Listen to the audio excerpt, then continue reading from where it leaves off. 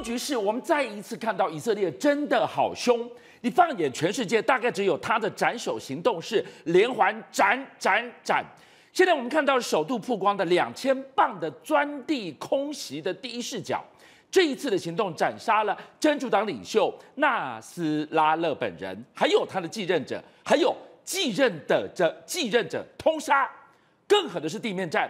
以色列的地面部队正在黎巴嫩境内清剿，针对真主党可能藏匿的地道，通通用水泥把它封死，要把地道变成万人冢吗？背后渗透的最大幕后的扮演的角色，居然是以色列十八年磨一剑的九九零零神秘部队，那是什么样的一个一群人呐？今天节目一开始，我讲一句话：我们的世界怎么了？怎么了？四大爆点，中东越来越可怕，俄乌越来越可怕。是，南北韩，北韩在今天，北韩哦，正式通知美国。是，他从来不通知美国的。他要干嘛？干大事了吗？第一个，我跟南韩之间的铁公路全部封锁中断。是。第二个，边境的要塞我全部要强化加固。开战前的讯号吗？对，现在一个最新最重要的发展是真主党求和了，这不可思议的事情。真主党以前有一个说法，一年前就讲了，加萨不停火，我们不停火。是，结果现在真主党讲了一个新的讲法，不用跟加萨停火绑在一起。单独谈停火谈判，他被外界形容是伊朗团伙当中最硬的那个拳头，为什么转变了？哎，好，为什么？第一个，他跟加沙绑在一起，现在他跟加沙脱钩了。第二个，以色列现在要打伊朗了，他跟伊朗等于也脱钩。你打伊朗好了，我单独跟你求和。为什么要求和？因为以色列太恐怖，太不可思议了。我告诉各位，这个是真主党的首脑。长期的首脑哦，是。他担任真主党首脑二十五年，对，真主党的年长，他叫做这个纳斯拉勒，结果九月二十五号被以色列炸死，是，以色列找了他二十五年，居然现在九月二十五把他炸死，对，好，他的接班人叫亚丁，嗯哼，十月四号，以色列把他炸死，是，亚丁的接班人新的领袖叫做萨拉丁，是。是。纳斯拉勒的表弟，对，对不起，现在又被炸死。哪有这种斩首？就是我刚刚讲的，斩首的领袖本尊，他的继任者，继任者的继任者，通杀。告诉你，这绝对真的。为什么？纳坦雅胡出来开国际记者会，他说什么？说杀杀杀，为了弥补真主党领袖的空缺，嗯哼，他们就开一个会议。对，你知道发生什么事情？怎么了吗？没人愿意当。开了十二个小时，选不出来，谁上去谁就是下一个要被杀的。最重要，这个人，这个人叫善义德，他本来机会是最高的，大家都推选他。对，你知道他说什么？No，我不当。为什么不当？担心妻子的安危。我告诉各位，善义德后来开十个小时憋不住了，是，他要去上个厕所。嗯，他去上厕所。对，上完厕所一回来一看，投票结束，他当选。领导人，他被选出来了，他后悔去上这个厕所，好可怕！他不要当，现在没有人要当了。好，为什么以色列现攻的这么厉害？以色列现在第一个全面的空投，四个师、四面、七线作战，已经地面部队已经进去了。是，各位，他厉害就是因为他现在的这个 GPS 定位的碉堡克星。导引大人太厉害了，一打下去，你知道几公尺？几公尺？二十公尺的大洞，很准呢。二十公尺的大洞，你不可思议的。啊老师，你刚刚提到了一个关键字，就是地面部队已经翻山越岭，直接在黎巴嫩展开地面作战。他们在那边进行怎么样的战斗呢？以色列就是三个字：杀无赦。我刚刚讲了，他空袭用碉堡克星。你藏在地下，我全部把你炸掉。是，然后我地面部队进去，你藏在地道里面，对不对？嗯。我告诉你，他弄预拌水泥车来，我根本不去打你。拿水泥车来干嘛呢？我就把你的入口全部用预拌水泥车封死，一个一个封死，我就在让你在地道里面等死，就地阵亡，你把它变成万人冢了。对，所有地道全部我不清理、不扫荡、不去打击，好狠、哦！我就预拌水泥车一辆一辆开进去，是全部就把你封死、封死、封死、封死。我看你在躲到地道里面。那我问你，地道是极其神秘而且难以捉摸的，以色列怎么可以这么准？准到这边有地鼠，那里有地鼠呢？好，这真是我要告诉各位，以色列真是全世界我认为最厉害的国家，情报最厉害。好，大家知道。纳斯纳斯已经当了真主党二十五年领袖，对以色列多次要杀他，其中有三次，从二零零六年开始杀三次。第一次棒炸下去，情报错误，对，他不在那地方。对，第二次、第三情报是正确的，是，他躲在二十公尺，他很深啊，炸弹只炸了十五公尺，对，没把他炸死。好，这一次为什么把他炸死？我告诉各位，大家一定以为是摩萨德，对不对？错，摩萨德是做间谍活动的。现在以色列有一个多厉害部队，它叫做八二洞洞部队。八二洞洞部队是属于国防部情报局，下面有个更厉害小队，叫九九零零。九九零零，我跟大家，我认为全世界最厉害，他们做战场描绘，整个战场描绘，他怎么做呢？我跟你讲几个，真的就要第一个，无人机卫卫星长期在黎巴嫩真主党上面啪一直环影。然后用 AI 大数据去做统计，对，就把你的部署人员多人员少，什么地方有火箭的描绘的清清楚楚。这第一步是，第二步我告诉你，然后他开始渗透，渗透哦，听清楚，渗透进了所有。好，你徐俊相，我为了被窃听，我不用手机，是你的太太、你的孩子、你的朋友手机。电脑甚至电视遥控器全部都被害进去。我本质上我还是监控着你了。那你只要一联络，对，通通知道。还有一个，连你家里面电视遥控器你都没想到会被害进去，好可怕。为什么？电视遥控器一开，再看东盛幼幼台，就知道是你小孩在看。所以真主党自以为躲在地道没事，你在摩萨德在九一零零小队的眼皮子底下，根本是楚门的世界。当然，当你在看。这个五七报新闻，我就知道是你本人在看了，或者是你家的谁在看？对，好，这第二个，他用这两个已经把你行踪的还没完。第三个，他用十八年的时间，开始把人他的人全部渗透进去。因为人好不好散？好渗。二零一二年叙利亚爆发内战，对，真主党援驰援他，大举招募新人，是他的新人里面。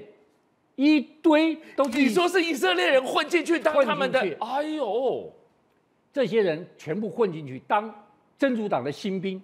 十八年来，他把他部队谁是领导人，谁是干什么，驻扎在哪里，整个战场地图摸得清清楚楚。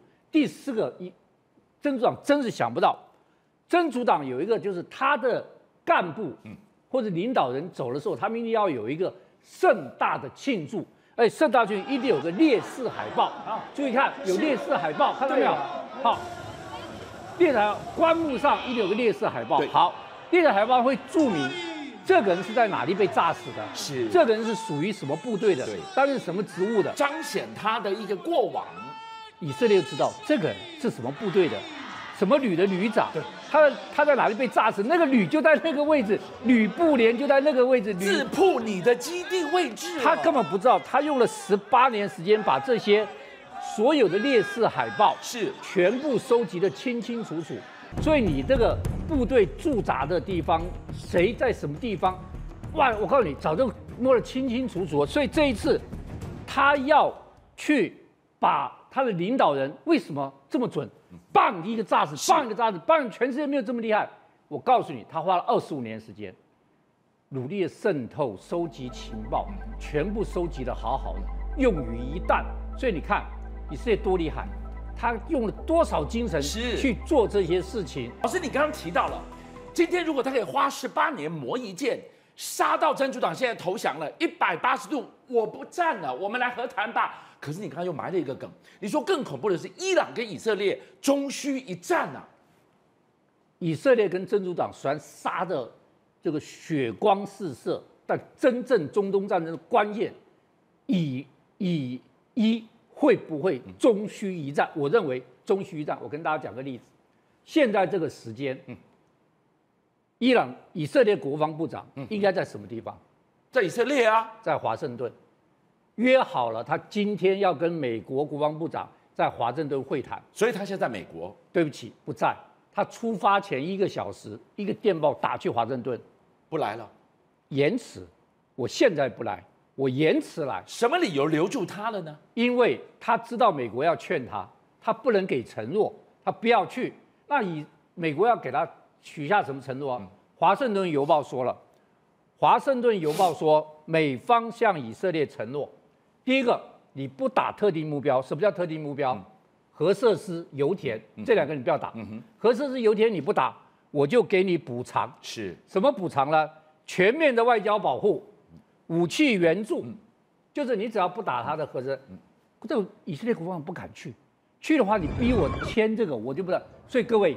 他居然临时延迟去，非常非常可怕的。现在传出来，以色列决定摧毁伊朗十个城市。嗯但是目前传出消息是，他不打核设施，他不打油田，他打两样东西，一个是跟太空有关的设施，太空基地、太空发射中心、太空发射台；第二个飞弹基地。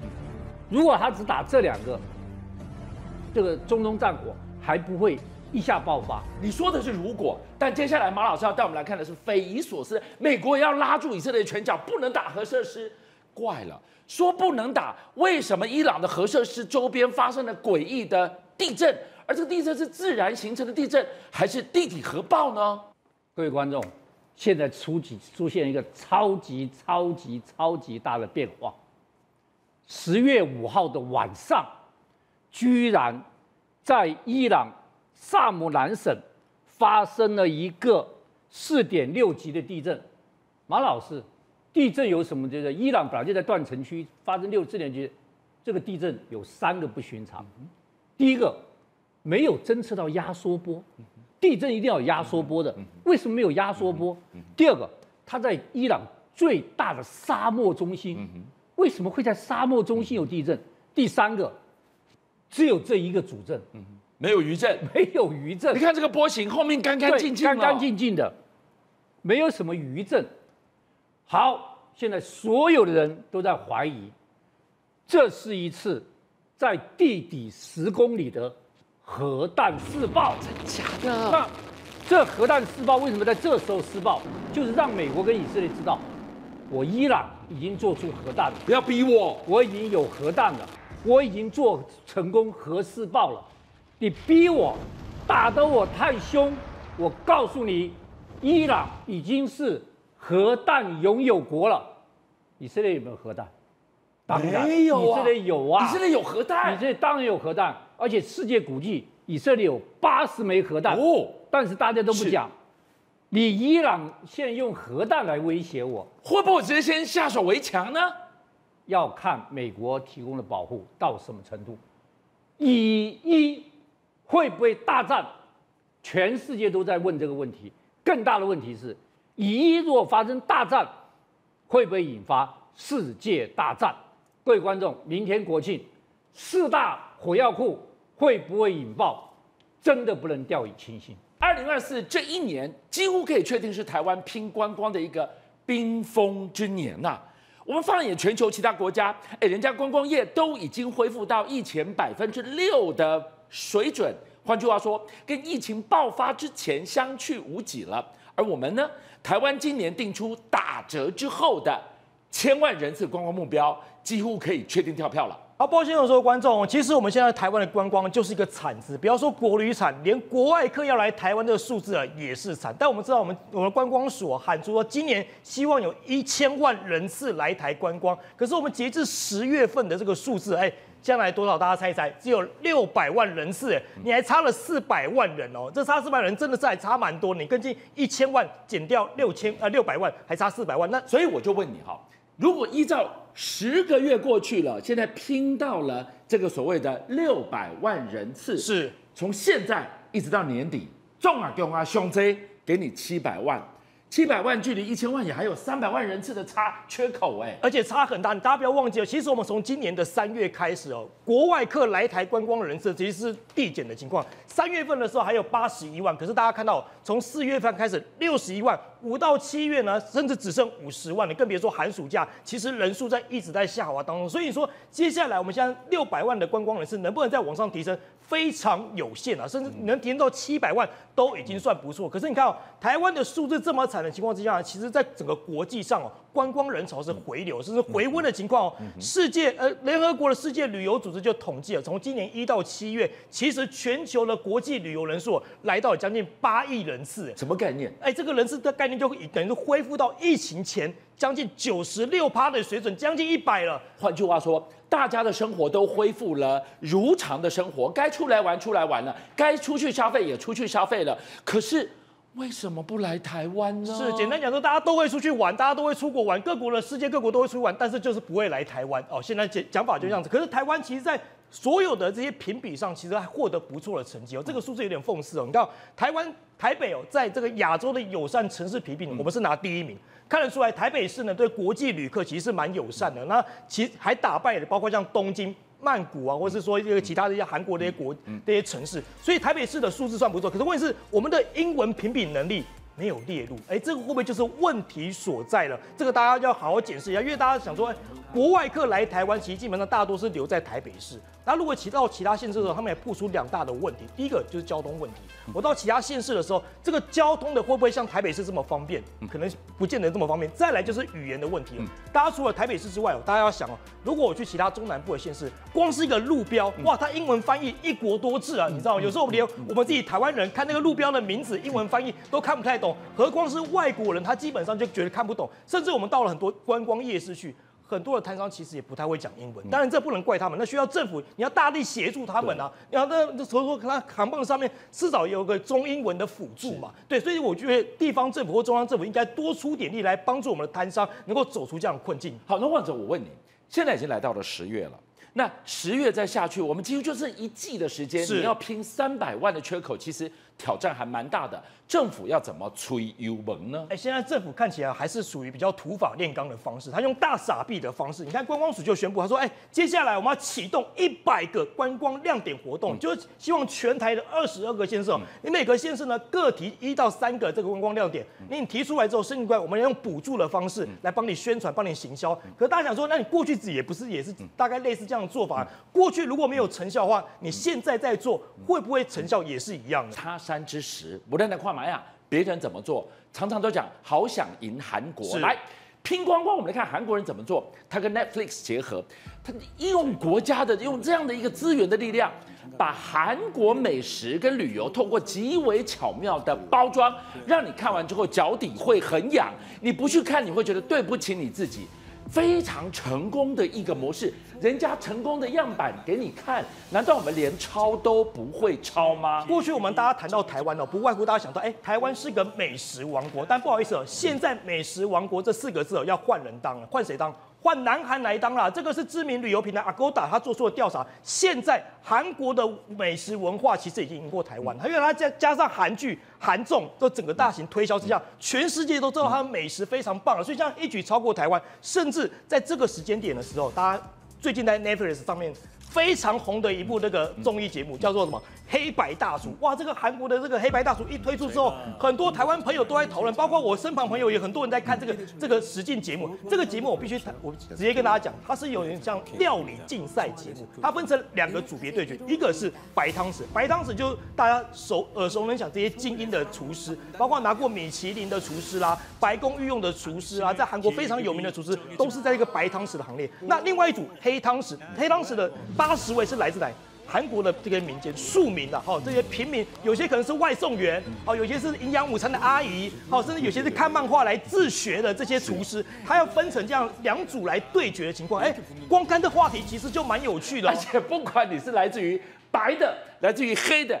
对决煮出来的都是会让大家流口水的韩国料理、韩国美食。哎，它主要都是以韩国美食为这个主题在打转，而且奖金非常高，奖金有三亿韩元啊，换算台币有七百多万，其实真的蛮不错。那黑汤匙大家会比较关注，因为很多黑汤匙的这些参赛者其实默默无名，甚至他在节目上呢都是用代号来做昵称，好，他没有真实姓名。这个默默无名的厨师黑汤匙煮完之后，你想吃，你一定会去打听，没错他是哪里来的？对哪一条街、哪个夜市、哪一个摊商来的？我一定会去 Google 嘛，或者在脸书上搜寻说，哎，这个这个是搜一下，这个到底是厨师哪里的？对啊哦所以就默默吸引着观众会自动自发就好奇，对哦达成这样的效果。那其实里面节目有非常多的细节，我来跟大家讲一下，里面其实跟台湾也有关系。哎，有一个这个中韩混血的这个厨师叫做吕进来，这个厨师爆红，他怎么说？他在韩国被誉为是中式的料理之神，他爸爸是韩国的华侨哦，他等于在韩国也做了当地韩国料理非常有名。那他上节目的时候，其实坦白讲。他也输了，然后输的时候没关系啊。我上节目的时候，我来我是来提携我的后辈，我希望能够发扬韩国的美食，让全世界看到。哇，光看这个胸肌就不得了了，就值值得掌声。然后再来看哦，黑白大厨，大家看，那除了参赛者之外，评审也很重要。我们过去看台湾的综艺节目，评审不外乎都是一些名厨师哦，阿基师啦，或者詹姆斯这些非常有名的厨师。但是你看韩国的综艺节目，他们请的厨师非常有梗，甚至找来韩国美食天王白种元。哎，白种元他在韩国非常两千三百多家的连锁店，然后被誉为是韩国的美食天王。另外一个是韩国唯一一个米其林三星主厨安承宰来担任评审。我们知道这两个人其实他会在。评审的视觉上会形成非常大的落差，一个是哎、我用大众的口味，哦，这个这个白种颜色我用大众的口味，那安城仔他是用比较精致的精致的料理，但精致料也不是人人都吃得起嘛，所以观看者来说，哎、那在这两个这样冲击情况之下，会不会造成更有趣的话题？而且大家讲，安城仔过去只是鲜少出现在镜头前面，那为什么这次会答应邀约？当然除了通告费是一回事之外，他主要说，哎、我想要趁机来展示。美韩国的美食文化，他说好不能只有我好，我希望能够带动韩国的美食文化，跟着我一起好。哇，光看这个胸肌，你韩国美食说真的，你要推广到全世界去，还成问题吗？当然不成问题嘛。所以你看节目当中哦，大家耳熟能详的很多韩国的一些食材，包括泡菜哦、韩式牛肉，甚至海藻啦、干萝卜啦，甚至这些等等的，其实都会在节目里面穿插出现，不断的在输出韩国的饮食文化出现。你刚刚讲到了一个重点，非常非常的关键，就是你当你看了这个影片之后，你一定会好奇它从哪里来的，那里的饮食我哪里吃得到？基于好奇，你就开始找找找，找到后来，从韩国餐厅的定位平台，他告诉你他怎么样推动了韩国的美食、观光的旅游的整个风一起被带上来了，我。刚刚讲，其实，在参加那节，不不管你有没有得奖，你有去参加，基本上很多人就在搜寻你的名字。所以你看、韩国的餐厅定位平台显示，只要参赛者他的餐厅，他有开餐厅的，那个定量是暴增到一百四十八趴。哇，你今年十月份刚定位，你可能要排到年底去了。而且同时哦，刚刚有人刚开放上线哦，开开放上线定位，结果呢，同时间六点五万人在抢定位，一分钟就秒杀了。所以你就知道，现在很多人，当然也不只有韩国人在抢这个位置，很多全球的观光客都看这部片，希望能够抢当地的餐厅，甚至像台湾旅行团也看到这个商机。我们组团，哎，台湾旅行说我们组团到韩国去看看，朝圣一下当地的餐厅是长什么样子的。难怪没有人留在国旅。来，导播是回来看看 Agoda 的亚洲美食王国。哎，我们也不要长他人之气，南韩第一，好棒棒。台湾嘛，摩的绕苦，我们第二名哦。第二对所以我就问，人家成功的样板在那个地方抄啊，我们连抄都不会抄啊。哎，对啊，我们可以借鉴过去韩国人在二零一九年这个白种元，我刚刚提到，他二零一九年的时候就曾经来台做美食节目了嘛。他当时来台湾的时候，他自拍这个节目的时候，哎，他不是去一般台北的一些大型餐厅，他是走到巷子里面吃一些包括像肉肉粥啦，或是说哎鸡卷啦，或是一些面线等等这些平民小吃。哇，我光看看他吃哦，我都我都饿了，你知道吗？我待会下节目一定要去吃一下。邪恶的深夜食堂。对，但有很多人这个节目出来之后呢，很多人想说，哎、我不知道台北有这么多好吃的东西耶对，这个是大家很纳闷的地方。那问题回来，我们台湾是不是缺乏像这样子的行销方式来推我们观光一把呢？这个是值得醒思的一个地方。五七报新闻的所有好朋友，君相又来了，谢谢大家，是你们的订阅数加持了我们，让我们在四月六号中午过后破百万了，多不容易！你知道每一天晚上九点到十一点，他在播的时候，我要盯着直播人数升还是跌，一觉醒来我要去看有多少人来点阅，一段时间你们给了我百万的订阅，真的无限感激。最后。我要跟大家瞪眼看，再一次谢谢你们大家，同时请介绍更多好朋友来支持武器报新闻。俊相还有优秀的武器报新闻团队会继续为大家每一天挖真相。Come on, come on, come on.